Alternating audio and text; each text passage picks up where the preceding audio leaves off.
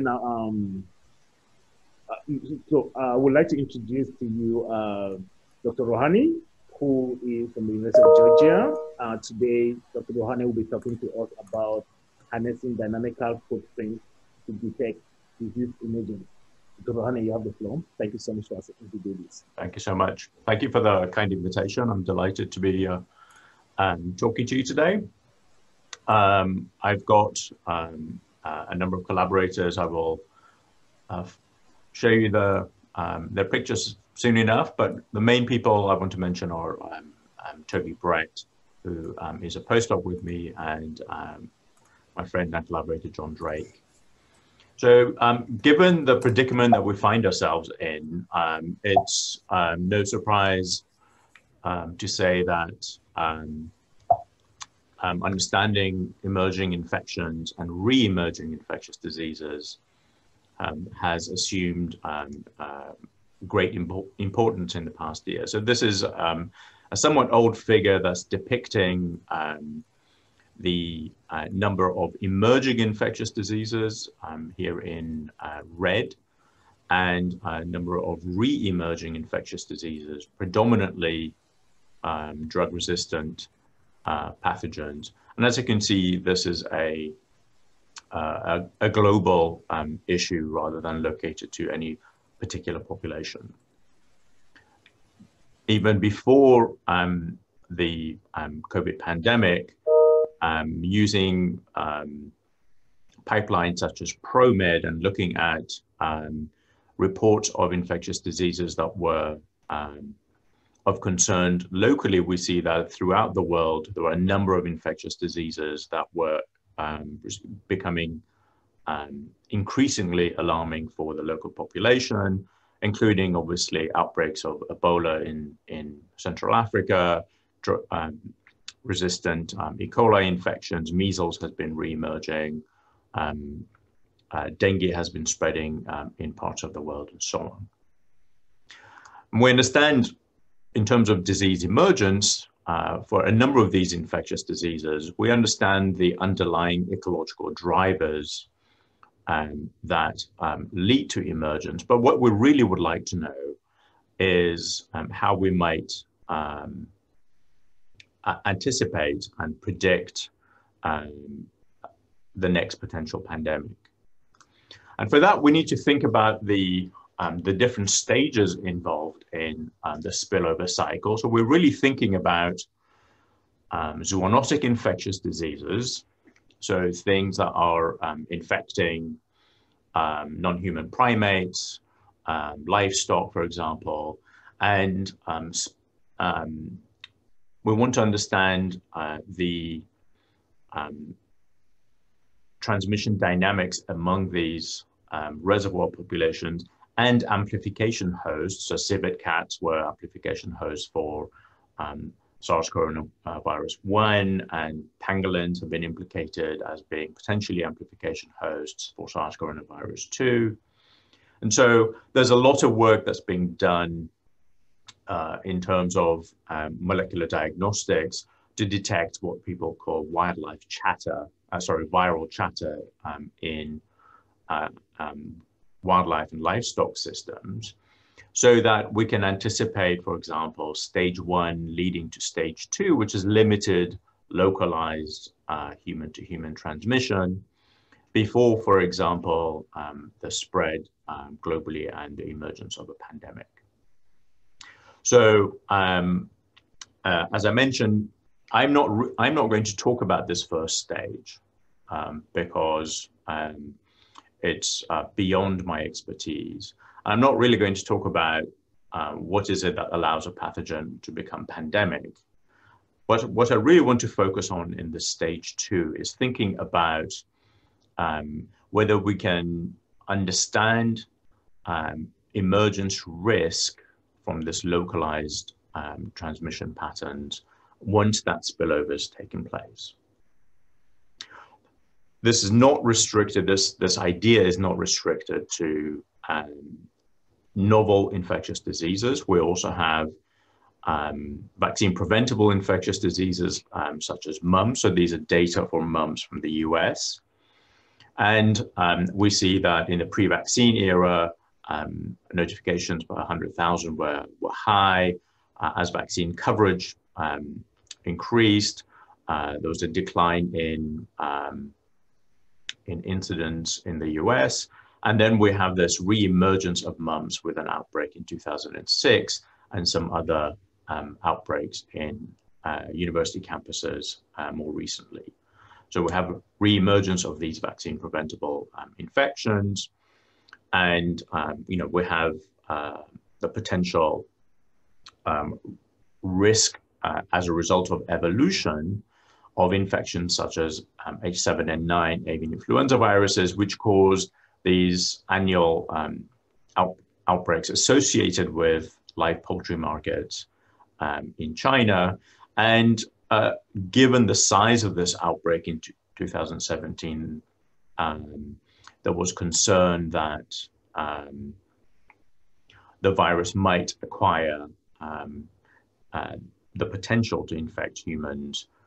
And given that um, across this uh, time series, we're, we're looking at about 1,600 confirmed cases and 610 deaths, which translates into uh, about 40% um, case fatality, um, naturally um, uh, being able to predict um, whether the virus is acquiring human-to-human -human transmission is going to be of important uh, importance to us. So um, ultimately, um, as this paper by uh, my colleague John Drake uh, and Barbara Han uh, depicts, what we and policymakers want um, is some kind of an early warning system, uh, very much akin to um, uh, weather uh, systems, where we might have um, a category which is watch. We have surveillance sites across the globe, um, and we're monitoring different um, different uh, infectious disease systems. We might have um, a warning about uh, potential increase in, in uh, transmission or, or spillover in a specific population. And obviously we would like some kind of an emergency um, mechanism whereby we alert uh, the, um, um, more broadly about a potential um, serious outbreak. So this was the motivation behind um, a grant application that uh, we put in um, this is our collaborative team. Um, the PIs were from the University of Georgia, Penn State, and the University of Michigan. And um, as you might uh, imagine, most of the, the hard, heavy lifting and uh, hard work was done by trainees uh, on this uh, project. And I'm going to predominantly focus uh, my efforts on, on work that's been done in collaboration with my postdoc, Toby Brett.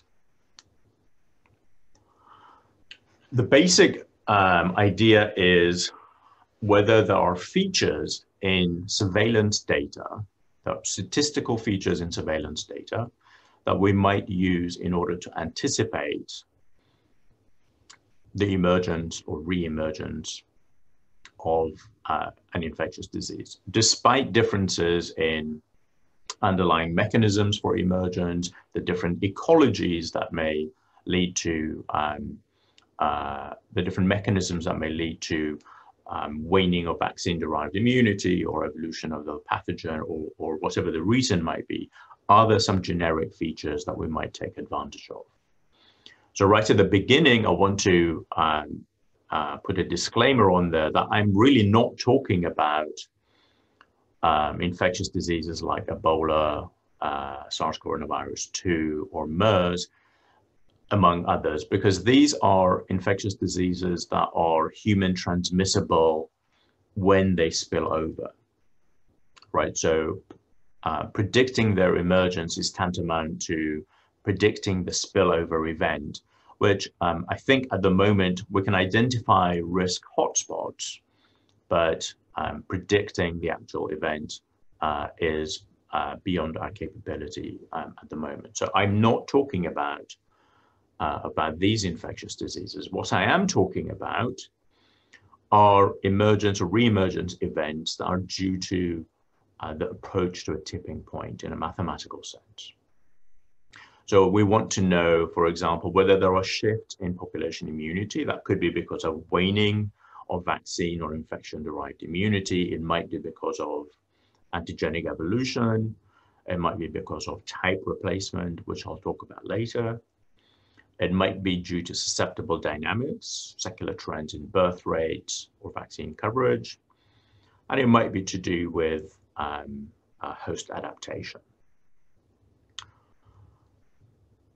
Clearly, all of this uh, relies on understanding and quantifying um, um, the transmission potential of an infectious disease.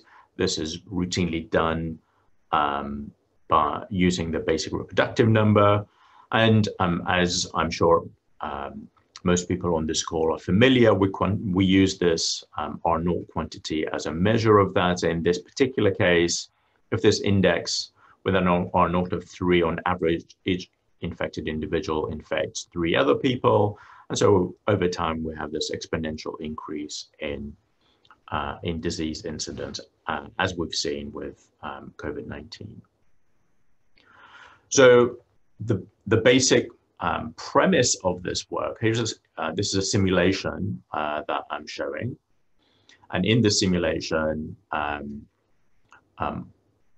R effective, which is uh, R naught corrected for the uh, susceptible population, um, starts pretty low and this green line, and it's gradually increasing. And at some point here, at time zero, R effective hits one. So it exceeds the threshold for um, um, maintaining the chain of transmission in the population.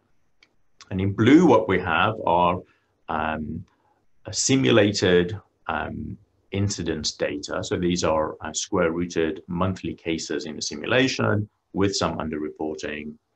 And you see that um, there's some smattering of cases. This has got a, a, an immigration term in it. There's a smattering of clusters of outbreaks through time. And um, about a couple of years after um, this threshold has been exceeded, we see um, a large epidemic um, in this population. So the question is, can we actually anticipate this large outbreak um, using some uh, statistical features of the of this time series here?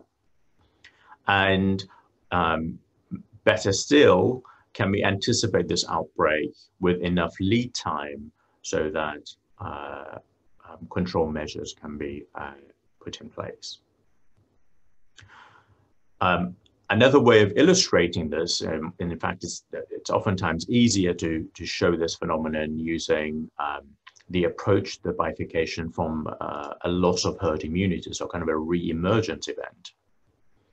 And in this uh, situation, we're simulating um, a situation where uh, there's vaccination and vaccination coverage um, starts in the 93, 94% range. And so the, the effective reproductive number, this R effective quantity is uh, below one.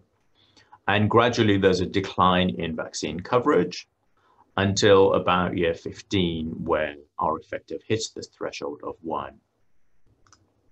And so if we look at the monthly incidence data associated with this kind of a phenomenon, we find that there's these kind of, um, um, again, this kind of noisy um, clusters of, uh, of outbreaks, that, of cases that we see. And then about a few years after this threshold has been reached, um, we see a, um, an outbreak. So there's a phenomenon called a bifurcation delay. Now, if we use these data to the left of this um, R effective equal one line, um, we can we can calculate, for example, the autocorrelation of this time series and find that well below, well before this threshold is reached, there's a noticeable jump in the autocorrelation uh, of the time series. So the question becomes, um, is there a reason to imagine that these um, statistical features of the data might in fact predict uh, the approach to this bifurcation? And in this particular case, um, this is happening in year 10 and the outbreak's happening year 20. So uh, in this particular case, we would uh, presumably have adequate time for um, uh, um, lead time for control. Um, there's a number of, we've published, our group has published a number of papers on this. Uh, I'm not going to go through um, um, any of these in much detail, but I want to mention that we have a review paper with, um, with, with the entire group that talks about how um, on the y-axis, if we change uh, the immunization level, this is for um, uh, an SIR system with measles-like parameters on R naught of around 16. Um, we find that uh, above some critical immunization threshold, prevalence is zero. And as we go, um, as we uh, drop below this critical immunization threshold, prevalence increases. The system's underdamped uh, uh, below the threshold and overdamped above the threshold. And we can see that if we look at the potential function um, for this uh, linearized SIR model that um, perturbations rapidly decline um, towards the asymptotic state um, away from this uh, critical threshold.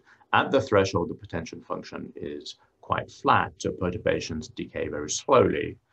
And um, as the system moves away from um, the threshold, so as vaccine coverage uh, approaches, say 90%, we get this kind of damp, we get these damped oscillations and the potential function becomes um, steeper.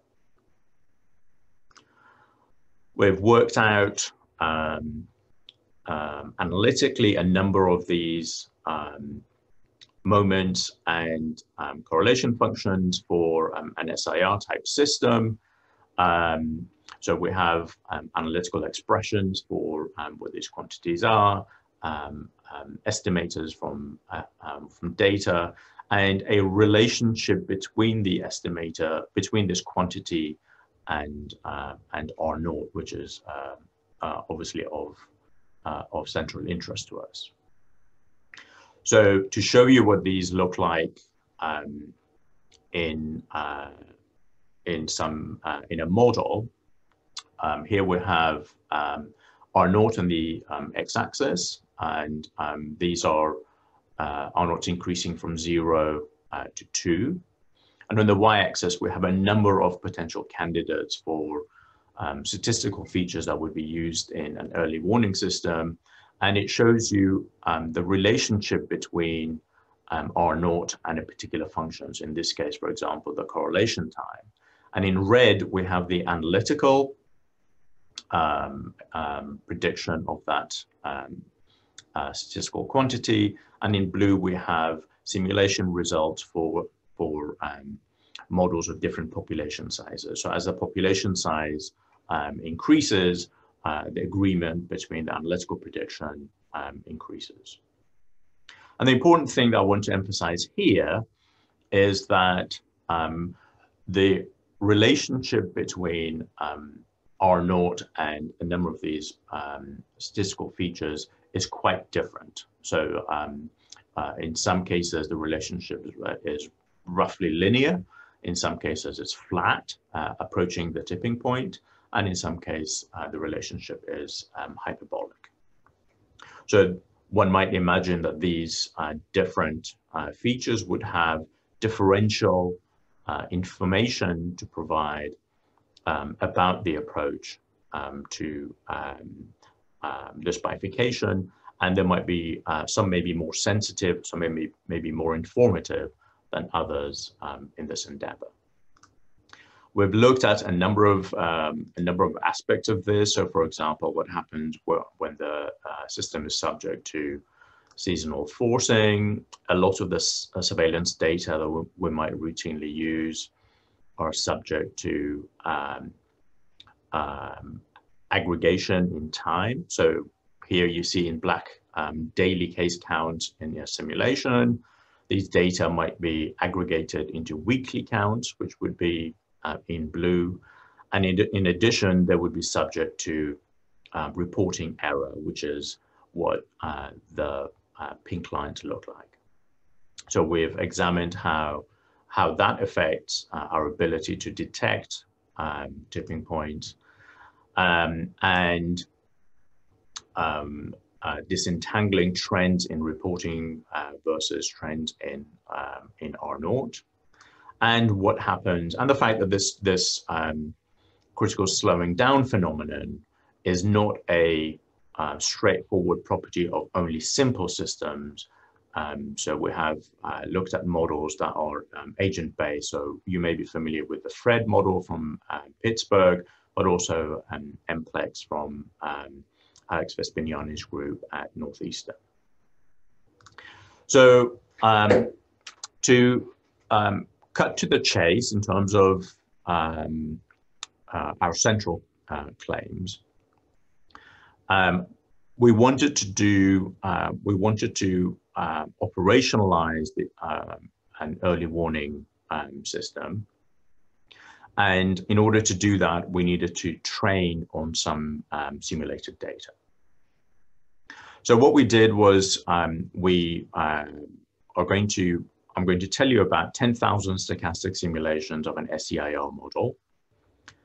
And we looked at um, uh, 5,000 simulations where there was disease uh, emergence and 5,000 simulations where there wasn't. And to implement this, we used the Brownian bridge. And in this Brownian bridge, um, R naught has an initial value. So R naught goes from an initial value to an end value. So um, R naught of capital T is the um, uh, ending value of R naught in a time interval uh, capital T. And um, W of T is a um, Wiener process and um, alpha tells you about the curvature of this random walk. So for instance, um, in this top panel, we are looking at um, some um, realizations of R naught where it starts below one and ends uh, at the same point, but in between takes a random walk. So there are times when it goes deep um, in initial, in, in, unique realization. Sometimes uh, there are some um, notable excursions around this um, mean value. And if we look at the um, um, incidence data, we see that it's characterized by noisy and um, and small scale um, clusters of um, epidemics. In our um, emerging um, situation, all of our simulations end up with an R naught of one at uh, time zero, and but their initial uh, starting values are different.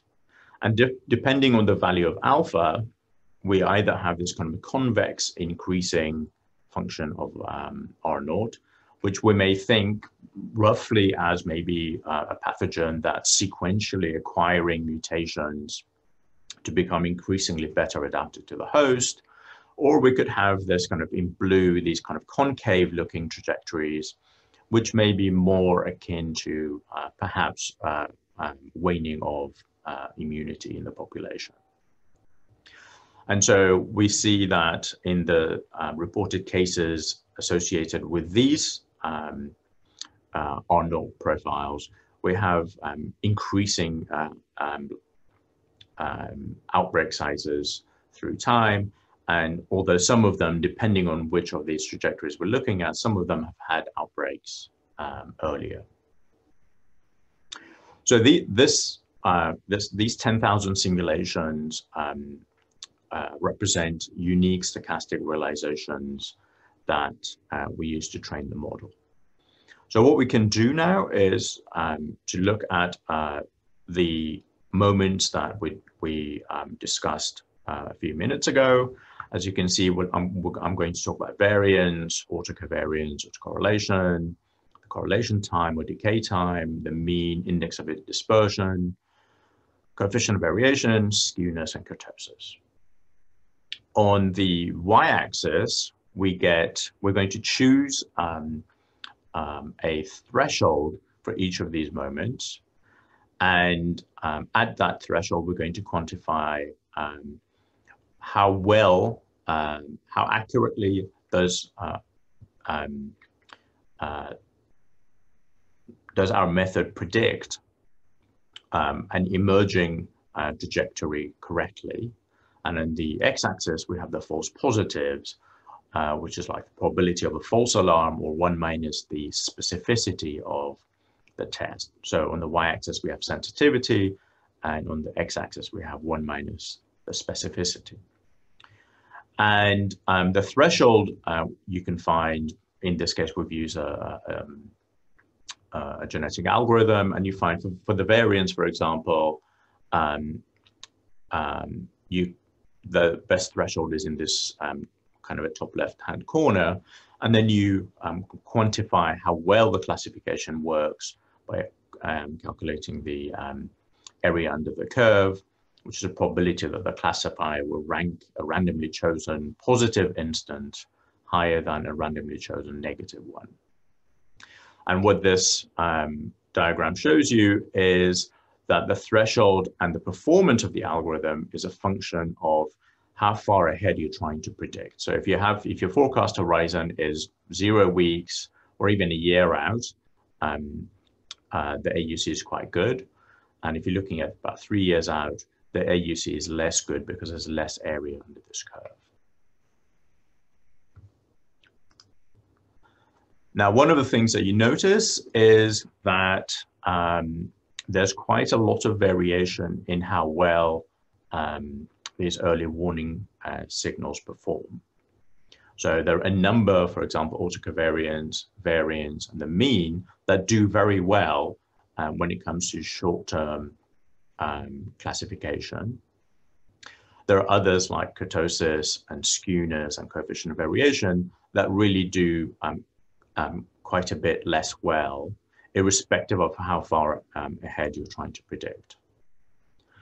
Um, but they're also differentially sensitive to your forecast horizons. If you look at the index of dispersion and the mean, the mean does a lot better when it comes to uh, uh, the um, either the instantaneous or a year out um, lead time.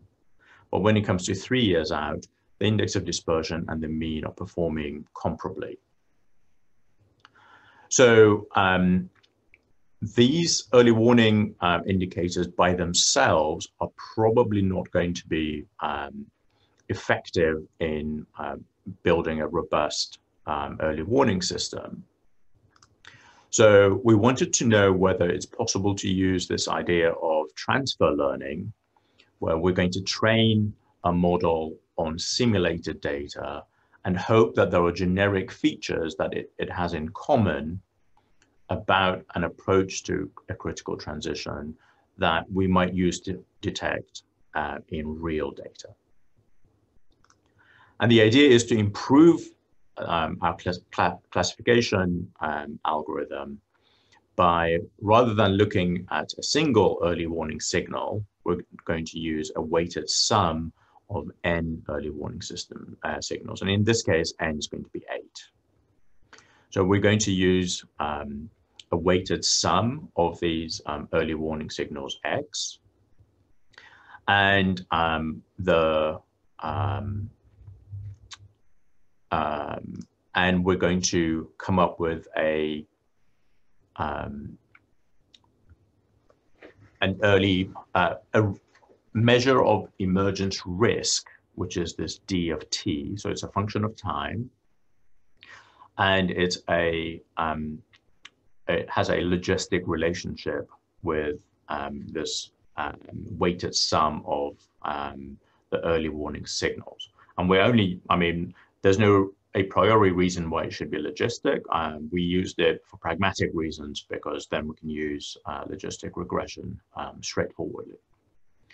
So one challenge is to become the uh, to identify the optimal weights to assign for each warning signal at each time point. Um, and so we used uh, lasso regression uh, with uh, an L1 uh, penalty.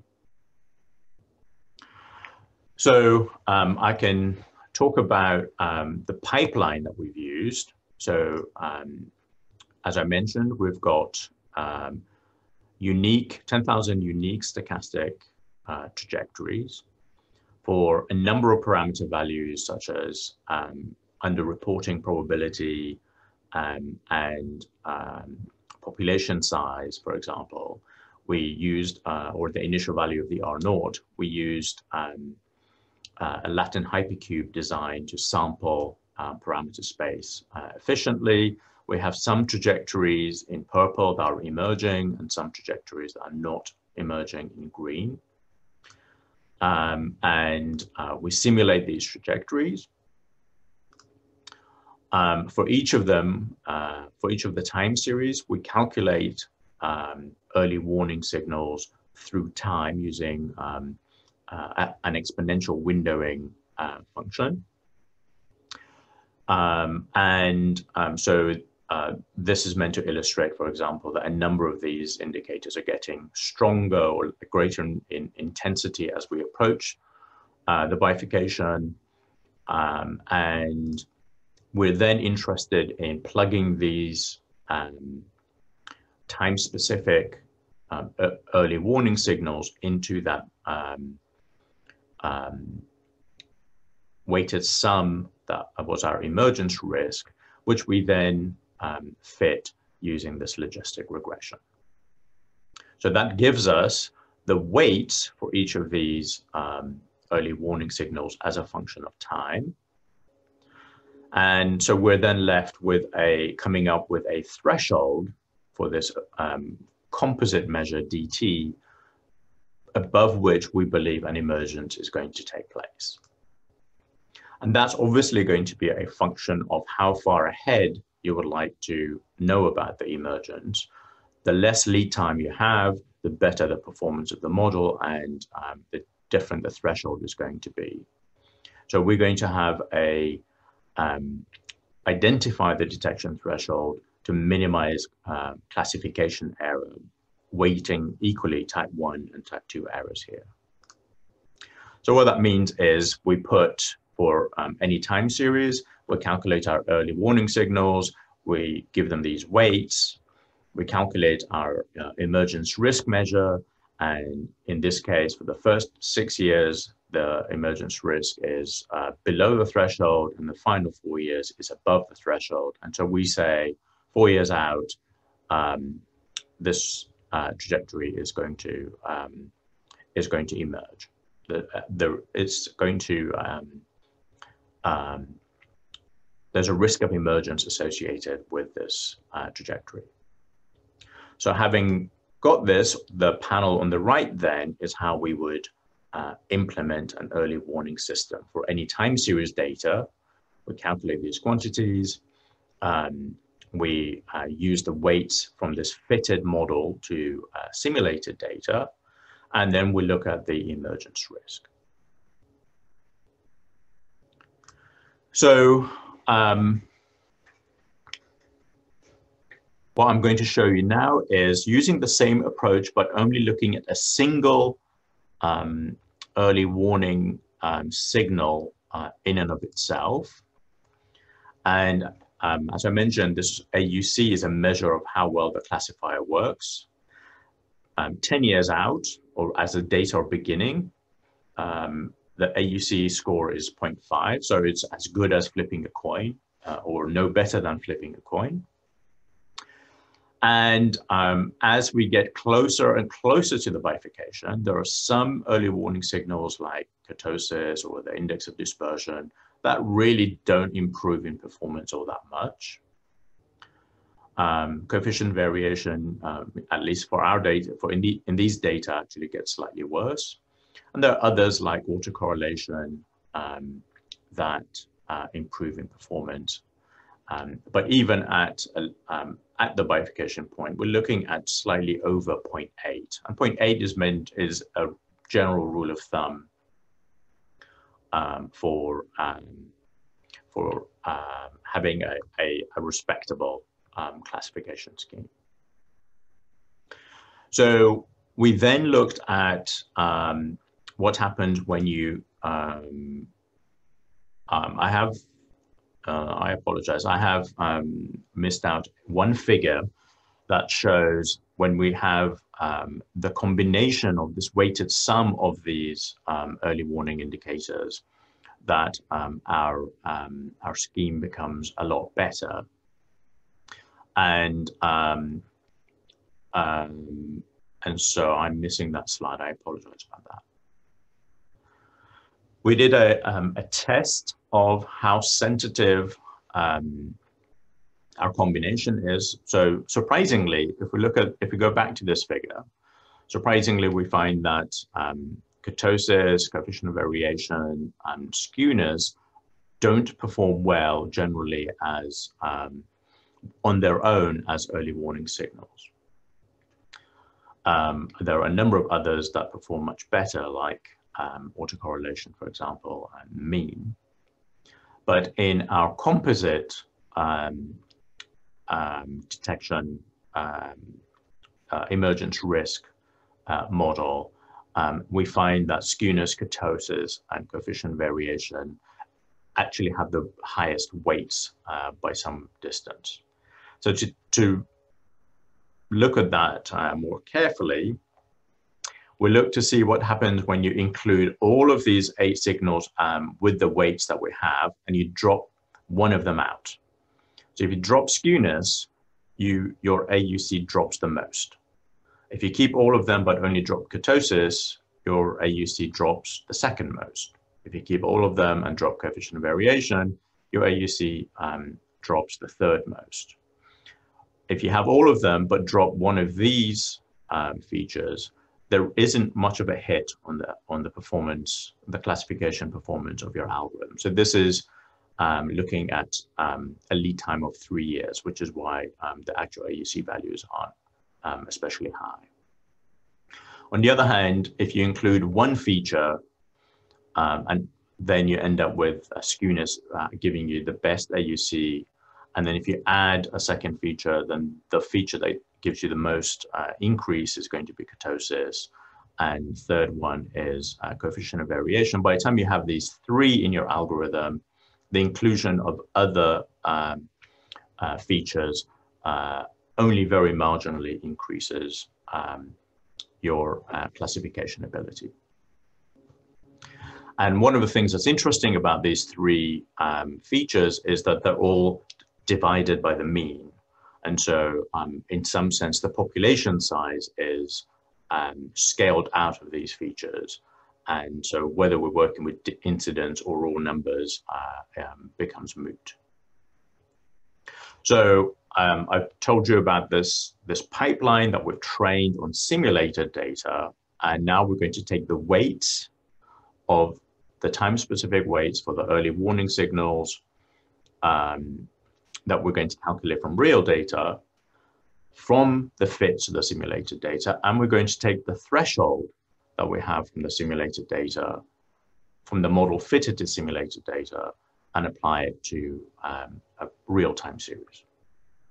So that's why it's uh, it's transfer learning because we're hoping that um, the model will, will uh, classification ability of the model uh, applied to simulated data will transfer to um, real data. So um, our first example is mumps uh, in England. Um, vaccination against mumps led to um, uh, inclusion of mumps in the MMR uh, in the late 80s led to a um, drastic decline in uh, mumps incidence. There was local elimination for a few years. And um, um, this panel on the top shows um, uh, the MMR um, coverage at 24 months. So initially it was quite high. Um, by time we get to 1998 and um, Wakefield scandal, there's a drop um, in MMR coverage, which is um, then followed by um, a substantial mumps outbreak in 2005. Uh, Public Health England um, furnished us with data from, from England according to uh, different uh, local authorities. So each of these little red um, areas is a local authority. And then we have these regions, uh, the borders of which are um, shown in this green line. And then I'm going to show you what happens when we aggregate the data at uh, um, the national level. So just so that we remember what the national data look like, um, I'm going to uh, show you what happens when we look at data from England um, only. And uh, I'm going to stop, um, my, my time scale here stops at 2005, which is when this big outbreak um, takes place. So initially there was very little um, by way of um, mumps in the England data. Our um, emergence risk shown here in black um, is below the threshold. The threshold is shown in the solid cyan colored line. And we find that um, sometime around the year 2000 for the England data, um, our uh, emergence risk crosses a threshold um, and um, there's an outbreak in the data in 2005. If we look at um, one of the um, regions of England, region five, because they were worried about identifiers, we um, don't know the exact locations of each region. So we're working with a, an arbitrary numerical scheme of, of numbering regions and local authorities. So region five, um, initially um, in the early um, period when vaccine coverage wasn't as high, uh, as it eventually achieved, our emergence risk uh, measure is above the threshold, but then drops um, for this um, uh, decade or so. And then actually in this particular region, um, we exceed the emergence risk um, some seven or eight years before the actual outbreak um, in 2005. In a local authority, so we're now going down um, to higher resolution data, we find that again, our emergence risk is low pre, um, pre-emergence and uh, there's, um, it goes above the threshold uh, and stays above the threshold um, sometime in the mid to late uh, 1990. So a long time in advance of, um, uh, of emergence in this population. Um, there's something interesting uh, in this issue of spatial aggregation, and I confess that certainly I don't understand it well at the moment. It's something that we think uh, we're working on. Um, if we look at uh, the data from England um, and using a general mixture model um, to classify local authorities as those with a big outbreak versus those with a small outbreak, um, our classification scheme does well in not um, claiming that the local authorities with um, small outbreaks were going to emerge. And um, from 2000 onwards, we find that uh, an increasing fraction of local authorities that experience a large outbreak are actually detected as being above the detection threshold. And for the whole country, as I mentioned, the year 2000 is when we hit the, the threshold. So we um, use simulation to um, simulate a whole bunch of um, stochastic simulations are independent of each other, so they're not spatially coupled. And we find that there is some, some measure of consistency with uh, England and Wales data, um, but um, I think because of because of the fact that our model doesn't include correlation structure in some sensible way, we weren't trying to ca capture it, but we do find that again, there's signal in the stronger signal maybe in the aggregate um, aggregated data um, than there is in the smaller um, pop, uh, populations. If you have any thoughts about um, why that might be, I would be interested in, in discussing that with you. But I do think that the issue of um, what's the correct spatial scale of aggregation of the data that contains the most information from the very small populations being very noisy to very large populations being in some sense more deterministic, it would be an interesting, um, interesting problem to understand better. And I say we're working on that, but I don't have a, a good explanation yet. Um, there are a number of other case studies that we've looked at. So um, measles in California, we know about the 2015 um, outbreak. And if we um, apply our algorithm, we find that sometime in early um, 2014, um, the um, emergence risk threshold is exceeded um, using our model. Now, I want to emphasize that the mumps data and the measles data are using the weights and the thresholds from the simulated data um, that we train the algorithm on. So they're not being fitted in, in retrofitted in, in any sense. We looked at a bubonic plague outbreak uh, in Madagascar. Again, the, the time scale of this is now much shorter. We're talking about days rather than a couple of years here. Um, and again, um, we find that well ahead of the epidemic, the emergence risk uh, threshold is exceeded. We looked at a vector-borne infectious disease, um, dengue. Uh, these are data from San Juan in Puerto Rico. Um, so the, there are four serotypes of dengue. Dengue 1 um, kind of disappeared from this population in the year 2000. It wasn't around for a long time until it, it was ev eventually reintroduced in 2000, uh, late 2007.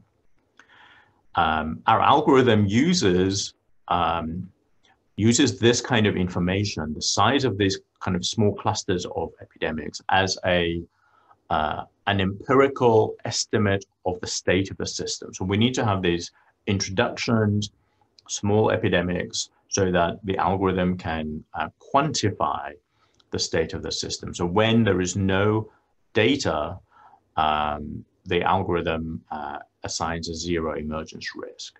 And so here there was there was no dengue, and then it was introduced, and so there was a big outbreak. So we don't have um, we we cannot anticipate that um, using the um, this approach.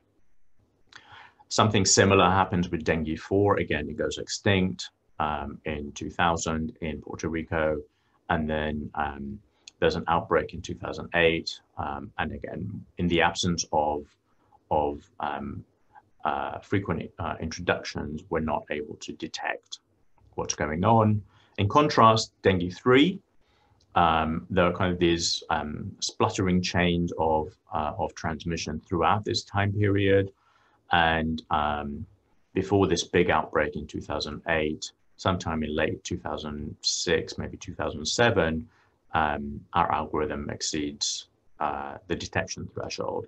And um, we have um, a similar phenomenon with uh, dengue 2 that before um, a year or so before this 2006 outbreak, um, we uh, exceed the, the emergence risk threshold um, in the model. So the final um, case study that I want to very briefly tell you about is um, an emergence risk that is not driven by drop in vaccine coverage, um, and um, um, changes in, in herd immunity, but instead it's driven by, um, by evolutionary mechanisms. Um, you may know that um, Streptococcus pneumoniae um, has 92 identified serotypes. Uh, conjugate vaccines have been developed that contain 7, 10, 13 of the most virulent serotypes. And uh, the rollout of this vaccine has inevitably led to serotype replacement. And this is work that we've been doing with Dan Weinberger and Stephanie Perniciaro um, from um, Yale. So um, there are um, uh, serotypes like serotype 14 um, that was included in the first generation of vaccine, the PCV7, the seven component um, conjugate vaccines. And we see there's lots of transmission of the uh, of the bacterium in this population, they roll out the vaccine, and after a while, we get uh, a decline in uh, monthly cases associated with the serotype. Um, there are other serotypes like serotype 1 that are included in PCV10, but not PCV7. And so uh, the rollout of the vaccine of PCV7 in 2005 leads to an increase in, in incidence of, uh, of uh, serotype 1, but the rollout of PCV10 then uh, knocks it on the head. And um, we also have uh, serotypes that are in uh, PCV13, and in this particular case, there seems to be um, the vaccines not working um, well against this uh, serotype 19A. So even in the vaccine era, there are um, seasonal outbreaks. Um, uh, there are seasonal peaks associated with this uh, serotype. And we have serotypes that are not in the vaccine, and so um, they've been having um, um, a reasonably good time in the vaccine era as uh, there's been opening of this uh, competitive niche with uh, the rollout of uh, the vaccine. And as you can imagine, uh, given we have 92 serotypes, um, we have a bunch of uh, serotype specific data. And um, so we've been looking at whether we can predict, for example, for some of these serotypes that are not in the vaccine, um, when emergence takes place. So serotype 8, serotype 9, for example, um, um, even um, a year or so after the rollout of the PCV7, uh, emergence risk uh, measure exceeds the threshold. And so we would, we would sound an alarm at that point, uh, well before the, um, the uh, additional uh, vaccines are introduced. For one of the serotypes, 7b, there's so few cases, again, that our um, algorithm doesn't work, uh, detection algorithm doesn't work particularly well until there's some sustained chains of transmission. And um, so in this particular case, we don't get much of a lead time. So um, I'm going to uh, wrap up by saying that um, in the actual, in, in the paper, the paper is not in review, it came out earlier this year. Um, we talk about emergence of pertussis, which took place over um, uh, over a decade and a half in the US, for example. Um, I've shown you data from mumps in England that took place over the emergence, re-emergence took place over a 15-year period. We have a few years that, um, um, a handful of years that relate to, um, say, dengue 2 um, um, re-emergence in Puerto Rico, and we have the plague in Madagascar where uh, it took place uh, very rapidly. So we've kind of gone from decades to years to months to days. Um, um, and the same uh, algorithm that was fitted to those initial simulations that I described at the beginning um, of this talk um, uh, is able to um, uh, predict uh, with some um, uh, some confidence the um, the emergence uh, of re-emergence of these infectious diseases. So there are a number of things I want to um, I want to highlight. So one of them is our measure of emergence risk um, isn't uh, an indicator of um, how big that outbreak is going to be or how soon the outbreak is going to come. So as yet, we haven't been able to come up with a way of relating this emergence risk measure with how much of a lead time we're getting. Um, it's really just a quantity that is uh, predicting whether the system's approaching um, this bifurcation uh, or not. The size of this outbreak naturally is going to be um, determined by other factors, for example, how big the susceptible pool is. So in summary, we're trying to figure out um, theoretically motivated um, early warning systems. In this case, the theory comes from um, uh, critical slowing down.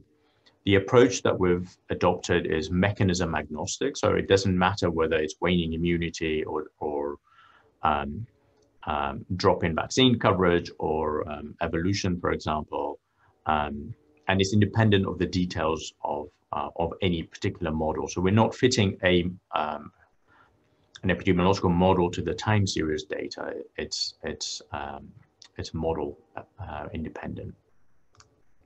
So it um, utilizes information contained in, in statistical moments and correlation functions of the data, and uses um, learning to identify a decision function.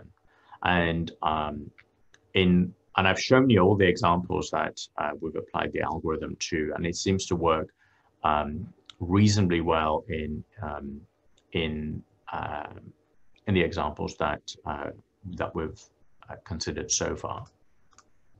So there are there are lots of things that we need to think about before actually operationalizing such uh, an approach. So, for example, as I mentioned, what's the right spatial um, scale of aggregation of the data? Um, it would really be nice to be able to say something useful about how much of a lead time we have. To say, well, it's exceeded the threshold, but I can't tell you when the outbreak is a few months away or a few years away. Um, I would imagine, as a, if I were a, a decision maker, I would find that uh, frustrating. And one of the things that we've done is we've weighted, uh, in the absence of any other information, we've weighted the costs of um, a false positive and a false negative um, equally. Whereas are lots of situations where you don't want to miss an outbreak, right? So, um, um, whereas you know, if, if, if you overreact, um, then um, the price of that might be um, lower. So there are some decision theory considerations that need to go into this, and that is associated with cost of um, potentially uh, differential costs of false positives and uh, false negatives. And naturally, if you um, penalize uh, the, the risk of a, a, false positive, then that reduces the lead time. So there are, um, we are um, encouraged by the performance of, um, of this model, um, but recognize that there are um, uh, important theoretical advances that we still need to make uh, in terms of something about the timing and the size, the size of the uh, impending outbreak, and um, important um, um, decision theory related um, components of uh, operationalizing. For example, should we um, weigh false positives and negatives equally or not? So with that, I'll um, thank my collaborators and funders, and I'm happy to answer any questions. thank you so much for the great talk. Um, it was really interesting. Um, this is a time where we need to channel our efforts to pandemic preparedness, given the number of pandemics that have occurred. Um, I really want to appreciate you for this great talk and timely talk. Thank you so much. Thank uh, Ellen, a question there from the audience. Hi, first of all, thank you for the talk, very interesting. Um, so we have a question by Professor Earn, but I'm not sure if he's already um, if he left. So um, I will ask the question for him. So um, he wants to know if you have any ideas about the mechani- mechanistically motivated um, warning, sorry, early warning um, signal criteria. Um, so I'm not sure if I fully understand the question, but I wonder whether, I mean, part of the problem is in those um, in those early stages, um, as we're imagine the mumps example, for example. Um, so we're looking at, um, if I can just find uh, one of the times. So imagine that we're looking at um, this period, um, this period here, right? So we have some um,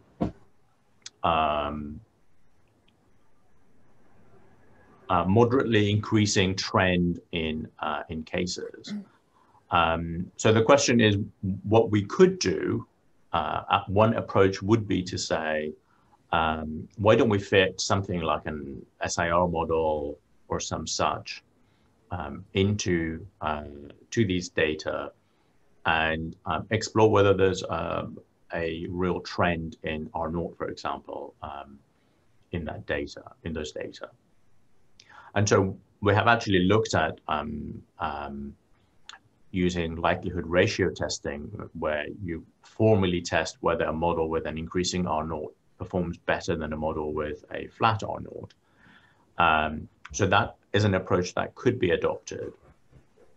Um, but I think the strength, the relative advantage of the of the approach that I've outlined uh, outlined here is um, now that we've got the algorithm, all we've had to do is we have this pipeline. We feed in the time series data, um, in this case, mumps, and we look at the, uh, the emergence risk measure through time and see whether it exceeds the threshold. When our disease system changes, uh, for example, as we were looking at um, the bubonic plague in Madagascar, we just put in a new set of data. We don't retrofit anything. We don't we don't worry about no. This is now. We need to think about what the fleas are doing and what the seasonality is doing. And so the um, I see the absence of mechanism in this approach as a virtue rather than um, a limitation. Thank you so much for the answer. Um, in line with uh, David's question, um, I was curious to know because when I look at these early warning signals that you used, the statistics that you used in your machine learning algorithm, um, they all rely on R naught, and this R naught will be based on pre-existing characteristics in a particular country. So I'm curious to know whether you, your group is looking at those pre-existing country characteristics that will be able to be used as, that we can be able to use to inform R naught, then in such a way that if we know these pre-existing country characteristics, resources can be directed towards those particular characteristics such that we address them before we ever have an outbreak. So are you looking at those to identify those that can be able to drive these statistics that you're using? Um, so um, so we're not actually looking at R naught. Um, we used R naught as a proxy for um, simulating disease emergence in a mechanistic system so that we could train the algorithm. Right. So the only thing that the only thing the algorithm is using, so if you if you look at, I don't know, this point here, our algorithm's using an exponentially decaying weighted um, uh, windowing system to look at what, let's say, the mean incidence has been over the past period of time. And it's using and it, that in combination with the weighted um, variant, uh, index of dispersion, uh, and so on, are the only quantities that the um, the algorithm is using to uh, to come up with this emergence risk and see whether it's above the threshold or not. So we we used R naught in order to inform the model as to what those how do those statistics change as you approach a bifurcation. But then from then on, we're only using those statistics. And so in this particular case, for example, in region five, um, our algorithm would tell uh, the local authority, the public health authorities, you know, many years before the outbreak, that it appears that we're about to, um, we're going to hit uh, a bifurcation point. Thank you. Sure. Um, thanks a lot. Elena, any other question? Thank you. Um, looking in the chat, there is no question so far. So if you have any questions, just feel free to um, use the chat panel and we will ask the questions or you know you can ask the questions in person. So um, i'm actually i have a question in the meantime. So um, you use general data for the population. There is no structure in your models right? So you were yeah. not expecting that any structure which can be social or age structure will somehow give different um, signals. Um, for example, in, in the sense that maybe if it's a childhood disease, I would expect that maybe more most of the cases will be, you know, in, in among children. But we know that for measles, for example, even teenagers or young um, adults are having, you know, are experiencing the infection. So is this something that you are um, thinking to include, or? Sure, it is something that. Um, so it's possible that um, by um, we might have to wait, depending on the on on on the infectious disease system. Mm. It might be um, advantageous to weight our um, early early warning statistics by age as well as by time. Mm-hmm. Right. Okay. So that, as you say, we might get the most information out of a specific mm-hmm. uh, group of uh, of uh, popul- of, of, the population. Um, and that's something that we're looking at, especially in the context of the strep pneumo system, where um, um, again, children are, are bearing the brunt of um, of cases of uh, strep pneumo. Um, but um, I think one it's so one question is possibly our our um, our classification accuracy would improve mm-hmm. by targeting specific age groups. Um, and that is something that that we are um, we're looking at. But most of the data that we have for um, a number of these systems tend to be aggregated cases. So we've gone with okay.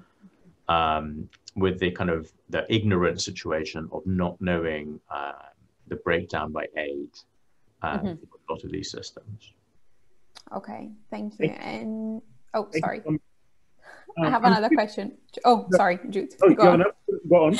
yeah, uh, it's, it's just related to that because we know that, for example, for um, I, I, worked on measles, so um, I know that there might be some mild cases, right? So the data that you are using, there will be all the confirmed measles or mumps, um, but there is you, you're not keeping into account the, I would say somehow the unreported um, cases or maybe misdiagnosed cases, right?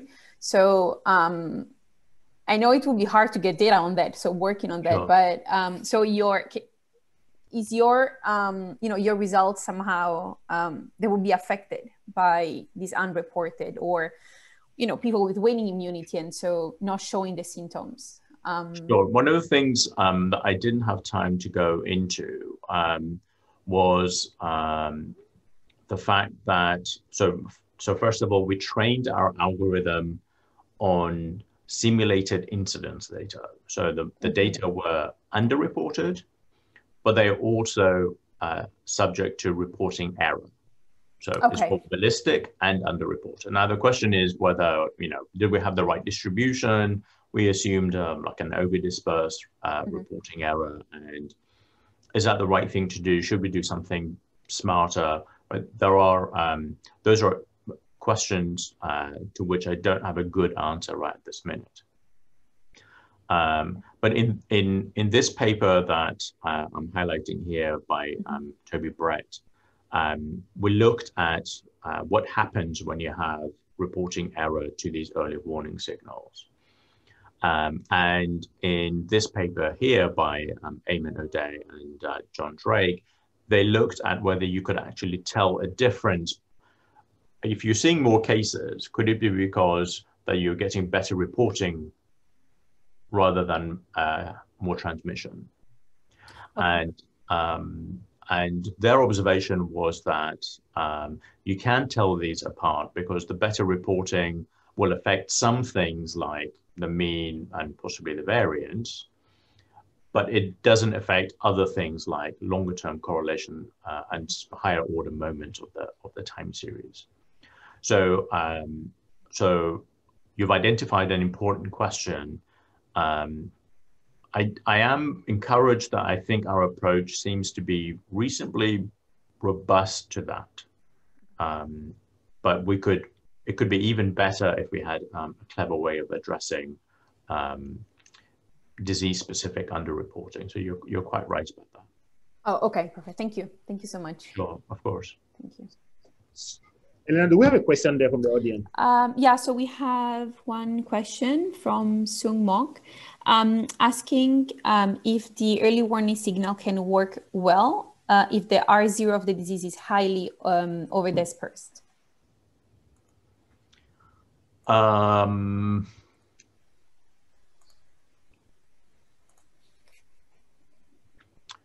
so um, that's an, an interesting question. I don't I don't have a trivial answer for that.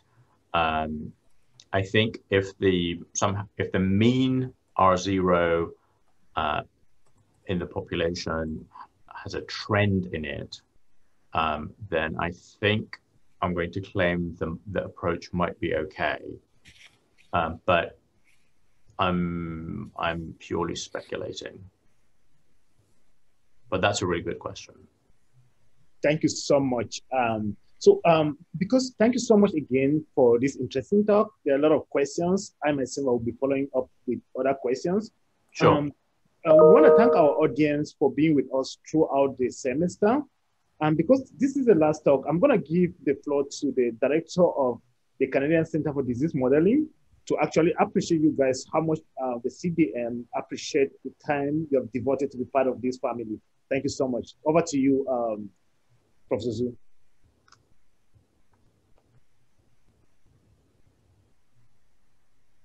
You're muted. You're muted. I wish. Yeah, yeah. Thanks, Jude. Uh, first, like, uh, thanks, Professor uh, Rohani, for this very interesting talk. Also, uh, this has been a very special year. Uh, for this series, we have four uh, presentations. Thanks all the speakers for the four lectures. I would also thank Jude and Elena, representing Center of Disease Modeling, organizing uh, this uh, fantastic uh, lecture series. indeed, this year is not really easy. The pandemic is still going on, so we are going to continue next year. so the holiday season is coming. I hope everybody would have a very safe a wonderful uh, holiday and happy new year. We will see all of you uh, next year. Uh, thank you. thank you. Happy New Year to everyone. Thank you so much. Thank you. Happy New Year. Good pleasure. Thank you. See you in 2021. Thank you. Thank you.